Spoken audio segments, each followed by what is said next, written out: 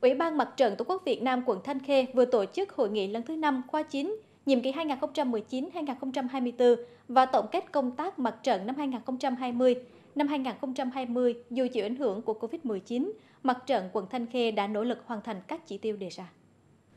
Qua hai đợt phòng chống dịch, mặt trận quận vận động số tiền khoảng 1,5 tỷ đồng, chung tay hỗ trợ tuyến đầu chống dịch và người dân gặp khó khăn.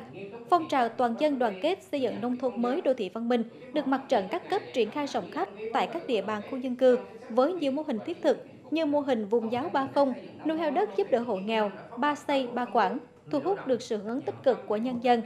Quỹ vì người nghèo đạt trên 4,75 tỷ đồng, góp phần thực hiện hiệu quả các chính sách an sinh xã hội. Năm 2021, Mặt trận quận Thanh Khê tiếp tục đẩy mạnh hoạt động giám sát, phản biện xã hội, tham gia xây dựng đảng, chính quyền vững mạnh,